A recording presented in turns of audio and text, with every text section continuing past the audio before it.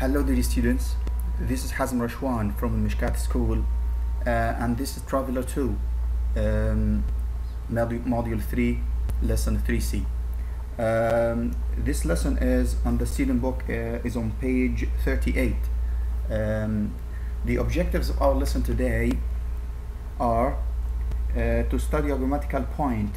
The grammatical point is the reflexive pronouns and then the second point is to answer uh, the practice or some exercise on the student book and on the workbook.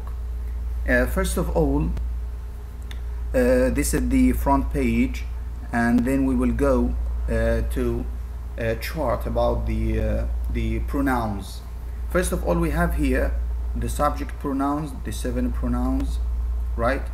Uh, which I use then at the beginning of the sentence. So I say I go, you go, he goes, and so on. And this is the uh, these are the object the object pronouns me, you, him, her, and so on. These are the uh, possessive pronouns, the possessive adjectives, and then the possessive pronouns, and finally the reflexive pronouns. This is what we will study today. These are the reflexive pronouns. So, from the subject pronoun I, we use myself. First of all, we'll, I'd like to clarify what are the reflexive pronouns. The reflexive pronouns are um, the, the words ending in self or selves, uh, which are used uh, when the subject and the object, right? The subject and the object um, uh, of a sentence are the same. For example, uh, I I believe in myself when I say I believe in myself, right? Uh, I did the, the homework myself or by myself. You can use uh, either of them, right? So what um, what we will go, what we gonna talk about today are the reflexive pronouns, right? Um, let's go to uh, to the student book. This is the page on the student book uh, what we will study is the grammatical point here this page uh, 38 as you know. And we will start with the grammatical point. Here we have some examples. For example Ted taught himself English right? Mr. Abdullah taught him English. So what we have here are the subject Ted and Mr. Abdullah right? Here we have himself. This is the reflexive pronoun from Ted. So if we replace Ted with he we can say he taught himself, right? English. And Mr. Abdullah taught him English. In which sentence does the pronoun refer to the subject? Here we have the answer in the first sentence, right? Here we have the uh, the subject, right? The first sentence. Do you ever stay at home by yourself? For uh, by by the way, we have yourself and yourselves. Yourself for for just one when you talk about yourself only, and yourselves this yourselves when you refer to okay a group of people. So you say you are Ahmed. So you did the homework by yourself. But you are students and you did the homework by yourselves right? What does the phrase by uh, yourself mean? It means by yourself means alone without any help. This is the meaning of by yourself right? Um, what's the difference between yourself and yourself? As we said yourself is second person singular number. Why yourselves is second person uh, second person plural number right? Now let's move to the chart. We have the chart here the subject pronoun the object and then we have the reflexive pronoun. So when i find i at the beginning of the sentence i use myself. When i find you i can use yourself or yourselves um, according to the context of the uh, of the sentence right so if, if I mean in the sentence you alone so I use yourself. But when I mean a group of people I use yourselves right? This is the difference between yourself alone no only one but yourselves okay group of people right? He himself she herself um, it itself uh, we ourselves you yourselves and I clarify the difference between you and you here they themselves right uh, here we have the uh, use of reflexive pronouns the first point as an object of a verb when the subject and the object of a verb are the same. I bought myself. I, I can say I bought I or I bought me, right? Um, I bought myself an expensive pair of shoes. Uh, as an object of uh, preposition, when the object of uh, the preposition is the same as the object and the verb uh, of the verb, he never talks about himself. Um, this is the example. He never talks about himself. He, can you say he never talks about him, or he never talks about uh, he? We can't say that, but the the correct one is to say he never talks about himself. I never talk about myself, right? We never talk about ourselves, and so on, right? Uh, we have a small note here. We use by reflexive pronoun to show that someone does something alone without any help from anyone else. So um, I can use by just to add some emphasis to the sentence. So I use, I say, I did the homework by myself, or I can say, I did the homework myself, right? So you can use either of them.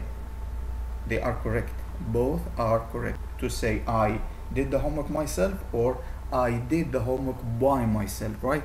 So you can use any one of them. Here we have one and ones. One refer to only one and ones refer to okay group. So uh, this black jacket is nice, right? The black jacket is nice, but I like the blue one. One here refer to the black jacket. So we have only one black jacket, so we say one. Instead of saying the black jacket is nice, but I like the, the blue jacket. So instead of saying jacket again, you say only one. So one, I use it, okay?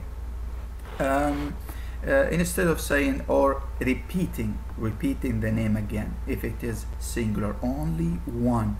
But here in this sentence, I say I have the sentence. I think these gloves are horrible, so I prefer the red ones. Why do use ones here?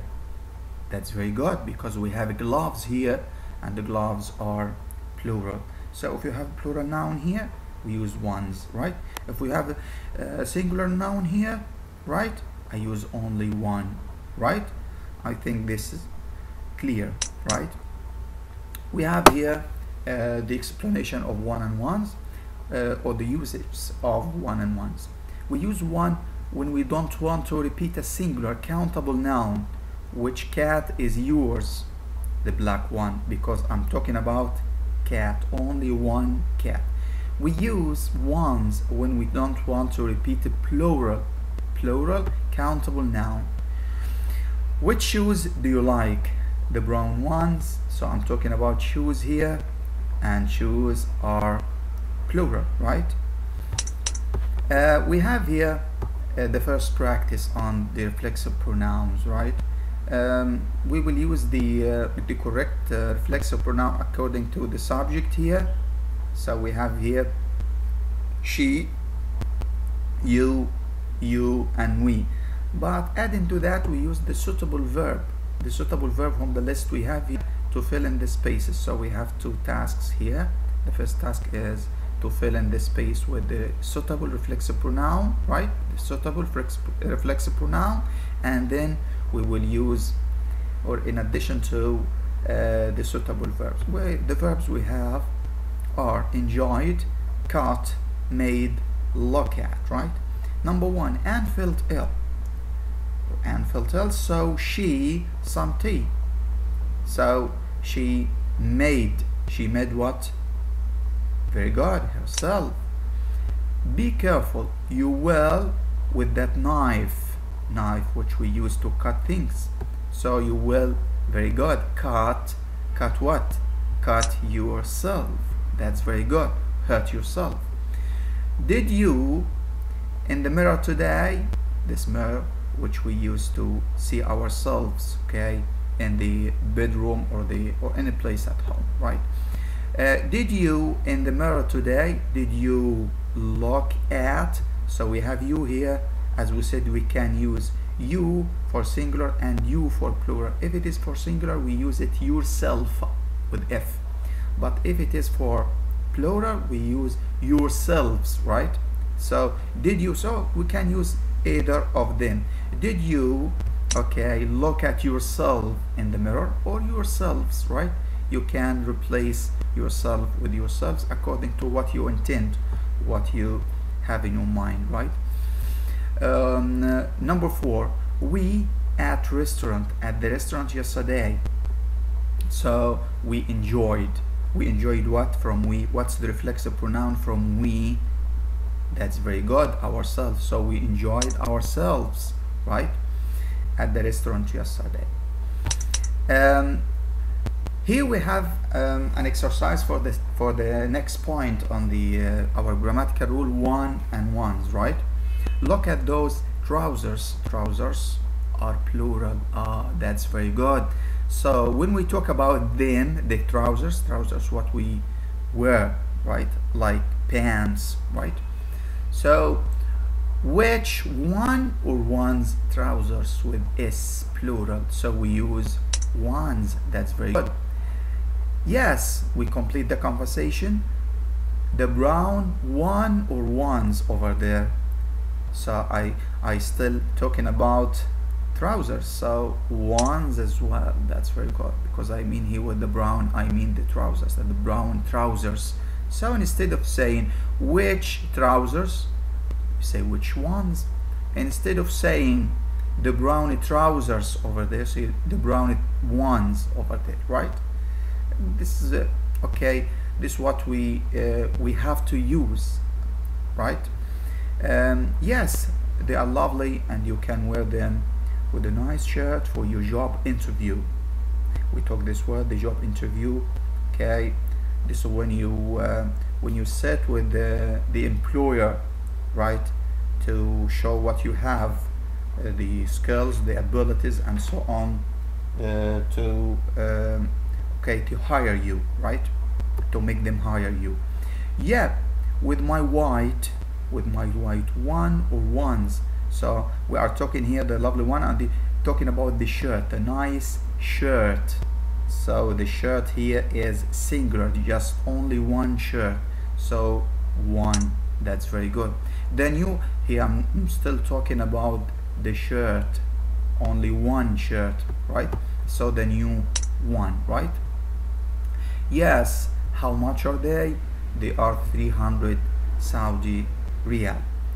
That's very good. Um, now let's move to uh, to the workbook on the workbook we have here um, uh, the second before I forget uh, we just chose for you the the most important points in the student book on the lessons. So um, you have to you have only uh, to study what we give you. We will choose uh, page 38 the grammatical points and as well we will choose page 41 the vocabulary the vocabulary uh, part uh, and the grammar part. And as well we will choose page uh, 44 the roundup right? This is what, uh, what we will study in in this unit right? Um, in addition to what we studied before with what we studied before uh, is okay okay? But what we will study inshallah what we will take uh, next sessions in the lab uh, page 40 page 41 right? And page uh, 44 right? So we still have two lessons on this unit page 41 and page uh, 44 on page 41 we have only uh, we have only the vocab and the grammar uh, in addition to the practice right? And on page um, on page 44 uh, we have uh, the roundup we will study uh, the whole roundup on page uh, 44 so um, don't worry we give you um, okay the most important points in the in the unit. So don't worry.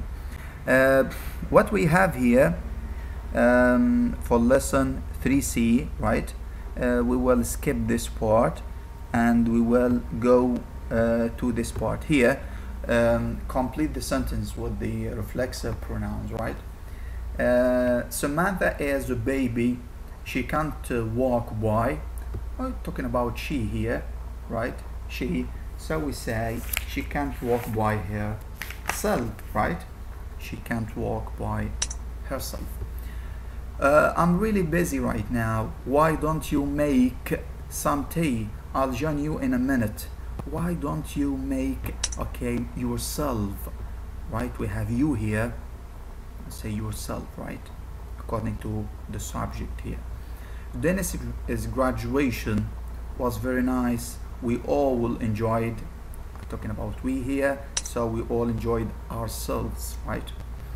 Matt doesn't have a driving license but he has learned how to drive by he right by himself um, you don't need to worry about dinner. I'll make myself a sandwich when I get back from work. Um, third and, uh, and wine right? Hurt we're talking about two here. Third and wine. So we, we consider them they right? So themselves right?